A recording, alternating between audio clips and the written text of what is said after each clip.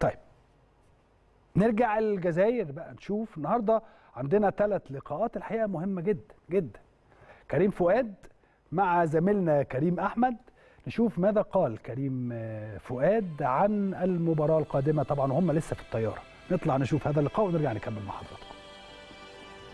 مستمرين معاكم كل مشاهدينا ومتابعي قناة الأهلي في كل مكان. بننقل لكم كل الأجواء والكواليس الخاصة بمباراة العودة مباراة الأهلي وفاق ستيف بطل الجزائر إن شاء الله بإذن الله. خطوة للمباراة النهائية ومنها إن شاء الله بإذن الله ثقتنا كبيرة جدا في كل لعيبة النادي الأهلي وال11 يا أهلي إن شاء الله يكون من نصيب النادي الأهلي. في ظل هذه الأجواء طبعا يسعدنا يكون معانا الحقيقة واحد من نجوم النادي الأهلي كريم فؤاد صاحب الإصرار والعزيمة ومخلص بشكل كبير جدا الحقيقة. الفرصة بتيجي بيمسك فيها توفيق ربنا بيكون معاه الإشادة بتكون من جمهور النادي الأهلي. في البداية طبعا يا كريم أنا برحب بيك ويمكن موفقين إن شاء الله بإذن الله في هذه المباراة.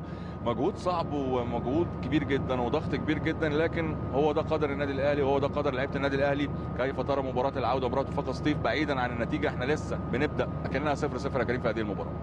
وبرحب بيك طبعا وعلى السادة المشاهدين.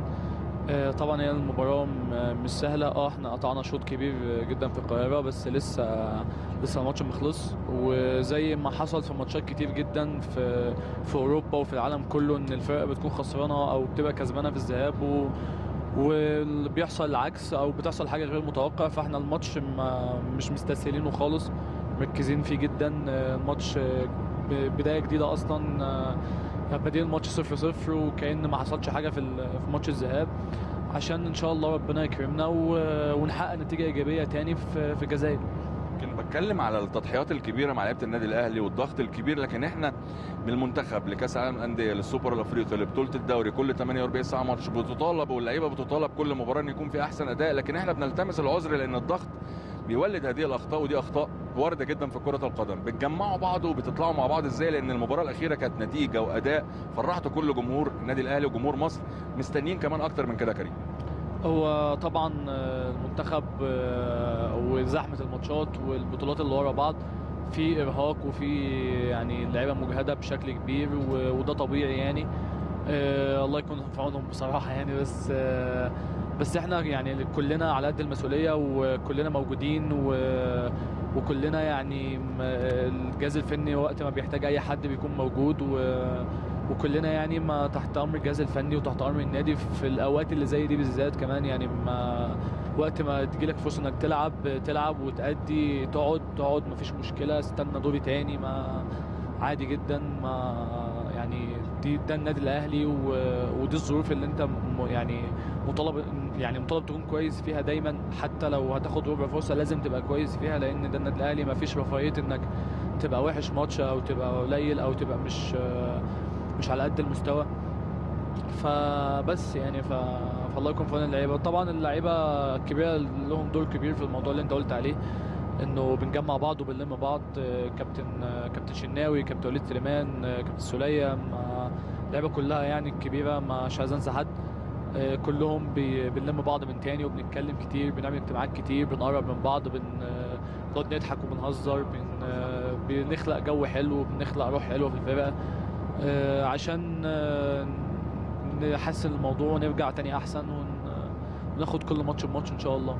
سر من أسرار النجاح الحقيقة هو يمكن عايز أقول نقطة مهمة جدا.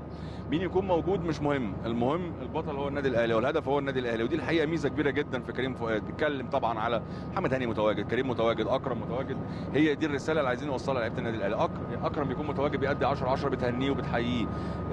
محمد هاني نفس الموضوع. أنت كريم كمان بتنال الاشاده من جمهور النادي الأهلي. سر من أسرار النجاح اللي أنت بتقوله ده الحقيقة كريم. أكيد طبعا الروح الروح بين اللعيبة أهم حاجة و... ومفيش حاجة تبقى بيني وبين اللعيب عشان خاطر هو بيلعب أو أنا لأ ما ما ما إحنا كلنا أصلا في فرقة واحدة وكلنا عايزين نكسب وكلنا عايزين المكسب فمين يكون في الملعب مش يعني مش مهم. وبعدين مثلا أنا عندي مثلا أكرم أكرم بالنسبة لي ما وهاني صحابي جدا وناس بحبهم جدا ويعني من أقرب الناس ليا في الفرقة كمان. فما فيش حاجة اسمها إنه في عشان بيلعب في مركزي أو كده يبقى في بينا آه في تنافس. وكل حاجة بس التنافس ده أصلا لمصلحة الفرقة والتنافس ده كويس وتنافس شريف وما فيهوش أي أي حاجة يعني ف... فكلنا ما عندناش يعني ما لما حد بيكون موجود في الملعب كلنا بنبقى عايزينه يبقى كويس. حتى لو لو لو هو في مكاني ولما يبقى كويس هيلعب ما أنا عايزه كويس. أنا عايز نكسب عايز الفرقة تبقى كويسة. بس فمش مهم مين يكون موجود في الملعب أهم حاجة ال- الفرقة تكسب يعني وأهم حاجة كلنا نطلع باللي إحنا عاوزينه. مش هطول عليك لكن عايز أكلمك على جمهور النادي الأهلي الحقيقة والمستوى والهتاف والمساندة الكبيرة جدا اللي إحنا بنشوفها في كل المباريات.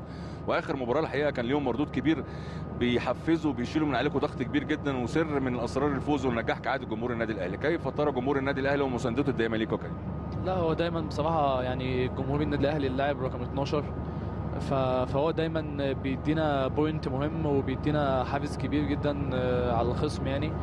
فيعني وبصراحة أنا موضوع الجمهور من وأنا في إنبي إن أنا الصراحة شفت حاجة مختلفة جدا. من قبل ما من قبل ما أدخل النادي كنت شفت دعم كبير وشفت يعني الناس كانت كانت مستنياني و الناس كانت مستنياني وكانت واقفة جنبي وكانت بتدعمني في وأنا في إنبي لحد ما جيت النادي. فبصراحة أنا شايف إن الجمهور حاجة كبيرة جدا جدا جدا يعني. أنا دعمهم دعمهم لينا يعني هو بصراحة يعني هو السر الفوز في كل الماتشات. والحمد لله يعني تقولي للعيبة قبل المباراة دي سواء أنت متواجد محمد هاني متواجد أي حد متواجد رسالة كريم فؤاد لكل لعيبة النادي الأهلي قبل المباراة القادمة لأن المباراة دي هتوصلنا للمباراه النهائيه مهما كان مكانها فين إحنا بنركز في حاجة واحدة هو ال 90 دقيقة اللي إحنا نلعب هو مش مش رسالتي للعيبة هو هو إحنا كلنا نفس التفكير وكلنا نفس نفس العقلية وكلنا عندنا نفس الطموح ونفس الهدف. فاعتقد إن رسالتي اللي هقولها لأي لعيبة أصلا هي عند اللعيبة من من قبل ما أقولها أصلا. فكلنا عايزين المكسب وكلنا مش مستسلمين الماتش وكلنا عاوزين الفوز وكلنا عاوزين نحقق نحقق التأهل للنهائي بأداء بأداء كبير. وكلنا عايزين نحقق إنجاز تاريخي للنادي ما حصلش قبل كده. وإحنا أهو الحمد لله على بعد خطوات قليلة جدا منه. وإن شاء الله نحقق الإنجاز ده يعني يعني هو طبعا النادي الأهلي يستحق حاجة تاريخية زي كده تكون هي بس اللي معمولة باسمه يعني. ربنا يخليك. تسلم. كل الشكر والتقدير للنجم نجوم النادي الأهلي الحقيقة اللي منتظرين منه الكثير إن شاء الله وجمهور النادي الأهلي منتظر منه كتير جدا.